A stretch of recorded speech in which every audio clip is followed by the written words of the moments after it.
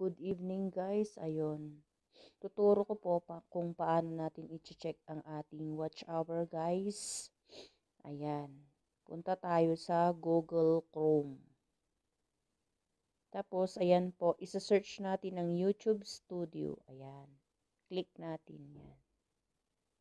Tapos, ayan po, lalabas yung YouTube Studio. Click natin dito. Ayan guys, pag lumabas yung YouTube Studio, punta tayo sa right side, may tatlong dot, pindutin natin yun. Ayun, tapos punta tayo sa desktop. Ayun guys, antayin natin na mag ano. Tapos, pindutin natin yung dollar sign dito sa gilid, left side. Ayan. Ayan po guys. So, ayan, ayan na.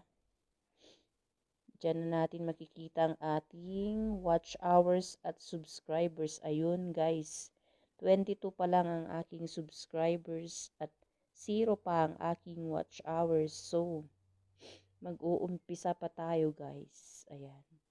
Salamat ng madami sa panonood sa aking uh, aking simpleng ano kung paano i-check ang ating watch hour. Ayun. So, yun lang po guys and thank you. Salamat. Sana may natutunan po kayo. Ayan, kung paano i-check ang ating watch hours at subscribers. So, yan, yun lang po. Salamat ng madami sa panonood. Bye! Good night guys! Bye-bye! Salamat ng madami sa panonood kung paano i-check ang ating watch hours.